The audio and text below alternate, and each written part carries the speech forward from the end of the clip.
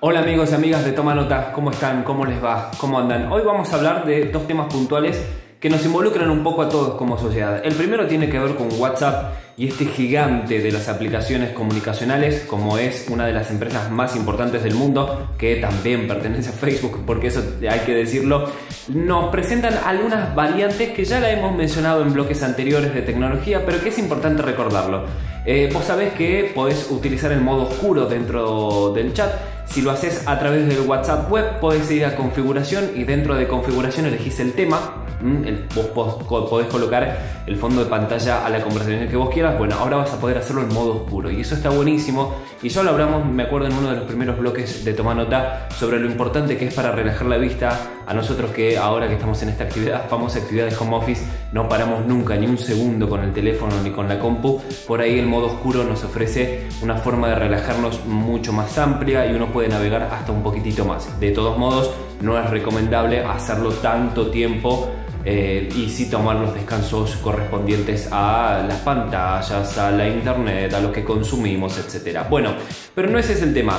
Además de eh, poder tener la opción paga para algunas otras cosas o eh, los chats de hasta 50 personas vinculados con Messenger Rooms de Facebook, ahora WhatsApp trae algo que hay algunas personas que lo vienen pidiendo hace mucho tiempo, que tiene que ver con poder silenciar las conversaciones por mucho más tiempo de las que están predeterminadas. Ahora Facebook la se puede silenciar un grupo entre 8 horas, una semana o un año, por ejemplo. Después vos podés deshacerlo porque te da esa posibilidad Facebook. Ahora lo que están pensando es que sea 8 horas, una semana y para siempre. Sí, así como te lo estoy contando, Facebook analiza lanzar esta modificación en la próxima actualización de esta aplicación para poder silenciar los grupos para siempre. Obviamente, y como te lo decía hace un ratito, si vos querés hacerlo por un tiempo mucho más que de un año o, por ahí entre una semana y un par de meses, lo vas a poder elegir, eso no hay ningún problema, vos podés eh, cortar con esa acción, es decir, podés volver a colocarle em, sonido y que las notificaciones te lleguen de la manera que vos elijas de los grupos. Pero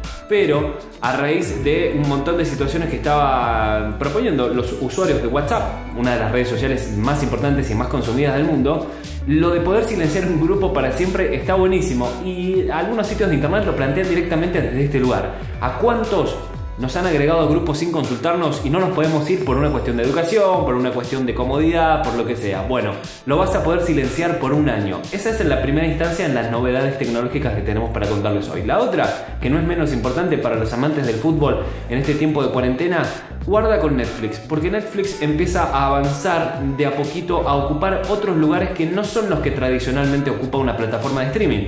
Tiene series, tiene películas, de otras productoras y de producción propia, tiene documentales, y si bien el fútbol, que es de lo que vamos a hablar ahora, ya tuvo un lugar em, preponderante en Netflix en los documentales o en algunas otras apariciones, a ver, incluso hasta en el anime, con algún eh, capítulo de Supercampeones, ahora Netflix se mete de lleno a la industria del fútbol y a la transmisión.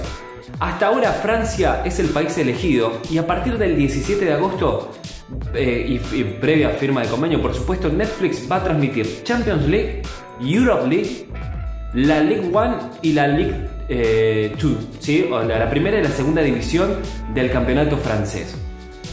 Esto arranca el 20. El 20 arranca con un partido de la Liga Francesa. Todavía no está muy claro cómo hay que hacer para poder ingresar a ver los partidos, para poder sumarse a esto y si va a tener un costo diferenciado. Porque la mayoría de las transmisiones vía, vía justamente streaming o plataforma es en vivo y en directo. Entonces ya empezamos a hablar de otro tipo de contenido. Empezamos a tenerlo en Netflix como en otro tipo de eh, plataforma eh, muy on demand, mucho más de lo que ya ofrece y acá habrá que ver si no hay algún costo extra o no. El convenio ya está firmado, será la Liga Francesa en una primera instancia, en el mes de septiembre la Champions, la Europe y hasta ahora están negociando la Copa Europea, la Eurocopa, para poder transmitirlo en vivo y en directo. Algunos equipos pagarán franquicia, otros no y no pertenecerán a las transmisiones, muy parecido a lo que sucede en algunos otros países del mundo. Habrá que ver si tiene un costo adicional o no, ahí está la especulación, y si alguna otra liga se suma, además de la liga francesa, para poder brindar sus contenidos a través de esta plataforma. ¿Cómo lo hará? ¿Se podrá ver en vivo? ¿Podremos tener la opción?